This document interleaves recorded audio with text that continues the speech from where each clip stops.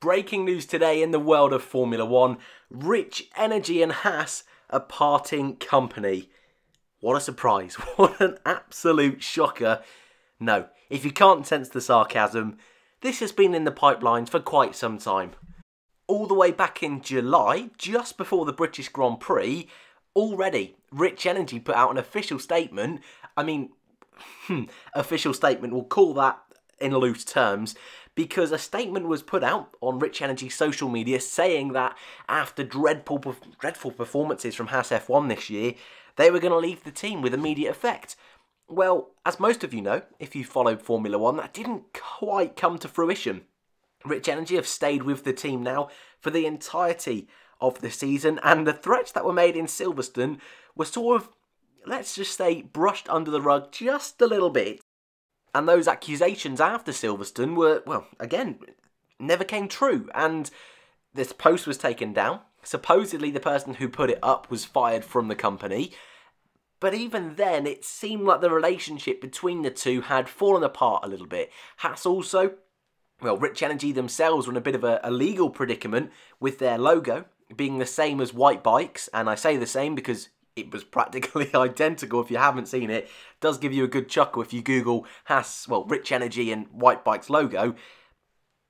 Haas didn't really help out Rich Energy in that kind of situation, mainly because Rich Energy didn't have a leg to stand on, but also it, relationships between the two got worse and worse, and today the official announcement that yes, the two will be parting companies for the rest of the 2019 season and to be honest, it's not really a big surprise at all. I think what a lot of people instantly will be really interested to know is what happens with the car. I mean, it's a perfect picture on screen right now.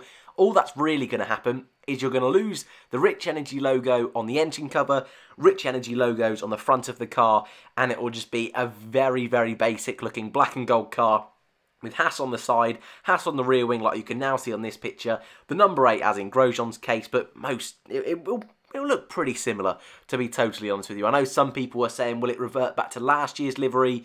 Very unlikely. All of the team's overalls, branding for the 2019 season is black and gold. I don't expect that to change. And actually, I had the privilege of having a little convo with Chris Medland on Twitter.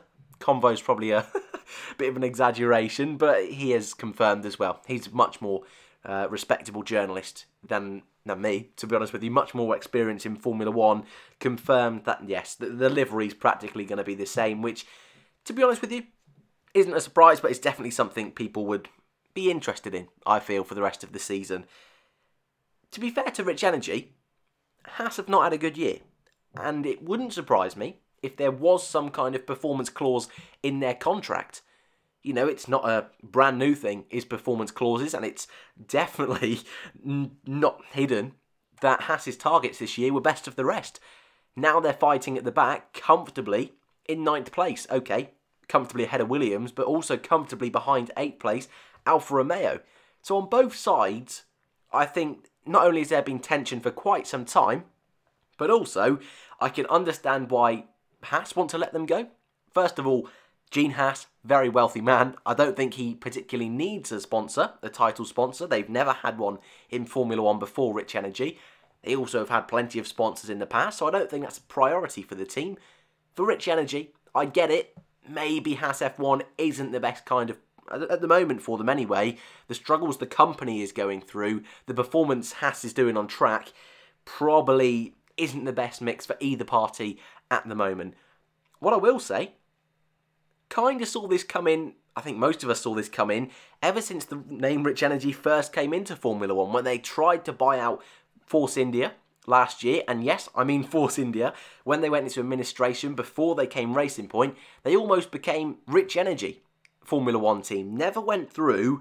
Never seemed to be a really serious bid, despite CEO William Storey, that's the CEO of Rich Energy, saying that it was a serious bid. They then tried to get a sponsorship deal with Williams. Williams didn't really want to go down that route. Went with ROKiT instead, which I think is actually quite a nice partnership and has worked quite well with ROKiT and Williams. Went with Haas, which I think most people were surprised with, but end of the day, it hasn't worked out. Will we see Rich Energy return to the grid in the future? I doubt it.